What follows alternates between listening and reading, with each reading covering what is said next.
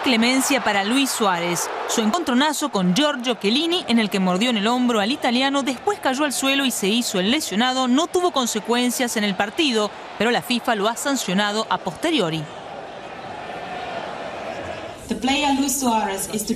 El jugador Luis Suárez será suspendido por nueve partidos oficiales, comenzando por el partido de octavos de final de Uruguay contra Colombia.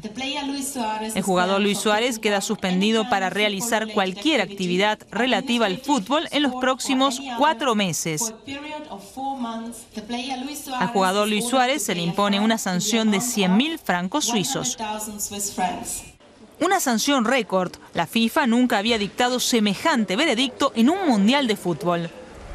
En el cuartel general de Uruguay la medida no ha gustado. El presidente de la Asociación Uruguaya de Fútbol nunca consideró que la jugada de Suárez fuese tan grave. Me sorprendió un poco la actitud del jugador, eh, del jugador italiano, la realidad. Eh, este, eso por un lado. Y lo de Inglaterra no es nada nuevo, ya sabemos lo que Luis tuvo que enfrentar en ese país. Suárez tuvo que aguantar todo tipo de chistes sobre su mordisco en internet, pero seguro que nada le afecta tanto como la prohibición de saltar al campo en los próximos meses. Hasta otoño no podrá jugar en su club, el Liverpool.